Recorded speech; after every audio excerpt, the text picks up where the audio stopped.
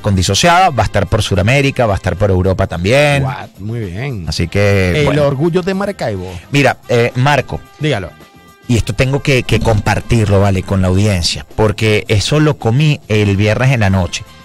Nosotros el viernes en la tarde, cuando hicimos el programa en Maracaibo, este viernes que pasó, habíamos contado lo que compartí contigo en la primera hora, que apenas llegando a Maracaibo comimos, fuimos a un sitio donde comimos pastelitos, empanadas, mandocas, este, buñuelos, Todo, un combo maracucho. eso.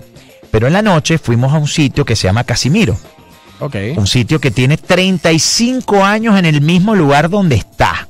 ok. ¿ok? En la avenida, en la calle donde está, ahí ese espacio tiene 35 años. Es, una, es un negocio familiar de comida típica del estado Zulia. Y probé algo, hermano, Cuéntalo, cuéntalo. que tú. se llama papas fritas en agua de sapo. Pero ¿Qué? No, no crean ustedes literal que, no sé, que, que, que, que, que, eh, destripan un sapo y... y No, no, no, no, no. Esto es como un multiverso de gordito. Las papas fritas Pana. por un lado son increíbles y el agüitesapo por otro lado es brutal. Eso. Yo no sabía lo que era cuando hacían referencia a agüesapo. A mí me, me- yo me imaginaba era un sapo ahí, un agüesapo. Yo, ya va, ¿qué es esto? No, no, no. El agüesapo es eso que cuando tú vas cocinando el, el- el pernil, el, El juguito. juguito que va botando, eso, bueno, hacen ahí un menjurje, lo maceran allí y tal, y pasa. En Casimiro nos decían, hasta seis horas, ese concentradito lo van allí preparando que deriva del pernil mientras, bueno, lo, lo, lo hacen. ok. Entonces, ¿cómo te lo sirven, Marco, en este sitio? Cuéntamelo. Una bandeja, papa frita, queso, trocitos de queso frito, Uf. Mezclado con el pernil y todo eso reposa abajo en el agua de sapo, Ay, el juguito ese que deriva del pernil. O sea, puedes agarrar la papita y mojarla Eh, en pernil. Dios eh, mío. Eso. Dios Entonces, mío. y, y la parte más cumbre está ya al final, cuando ya tú te has comido la parte arriba, toda, que, que está lo aguadito abajo y esas papas que estaban abajito están ya enchumbaditas de ese agua de sapo. Dios mío. No, hermano, mira. Eh, comimos de todo. Ahora, yo he ido bastante a Maraca- Maracaibo y primera vez que escucho este plato de papitas con agüita de sapo. Brother. He, por- probado, he sea, pizza de agüita de sapo. no. En la esquina de Palermo. Ok, una pizza con. ¿Así? Sí, señor. Ok.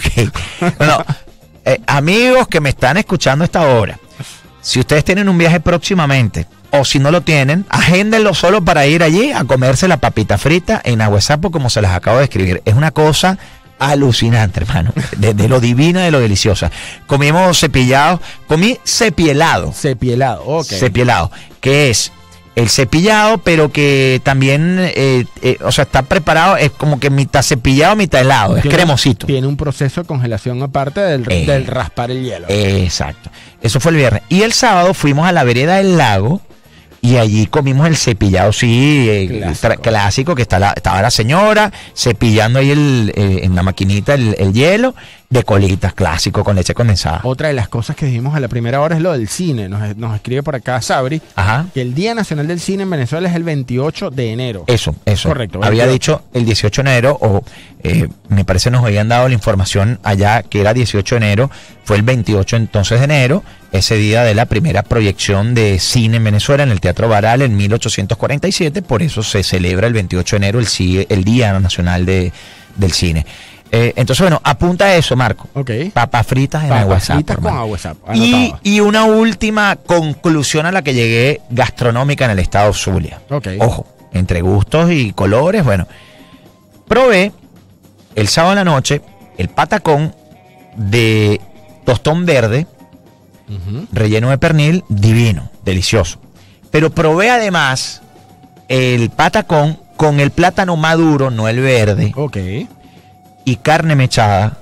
Hermano, Ese sí lo he probado ya. hermano, no hay quien le gane. Claro, de hecho, antes había un sitio que se llamaba Megarepa, no sé si existe, donde cada, eh, ¿cómo, cómo llamo? Cada parte del, del patacón, Ajá. Tú elegías qué término y qué tipo de, de plátano querías. Eh, ok. Y podían armarte uno mixto. Pero si me preguntan ahora, escoge entre un patacón de plátano verde y uno de plátano maduro, el de plátano, ma- plátano maduro y relleno de carne mechada. Brutal.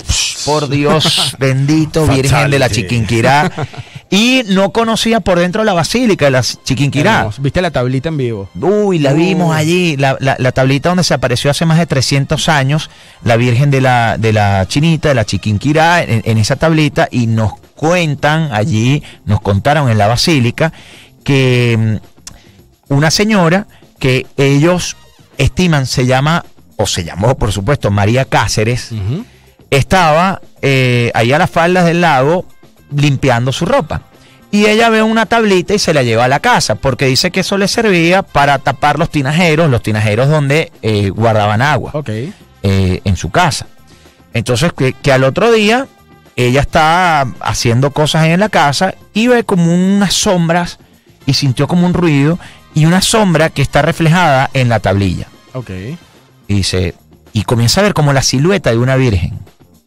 Entonces ella la cuelga en una pared y al otro día, 48 horas después de ella ver Salió. eso, de ella haberse llevado ese pedazo de tablita allí eh, eh, eh, en el lago, en la- en la- a las faldas del lago de, de Maracaibo, hace más de 300 años, ella siente un fortísimo ruido en su casa Ok.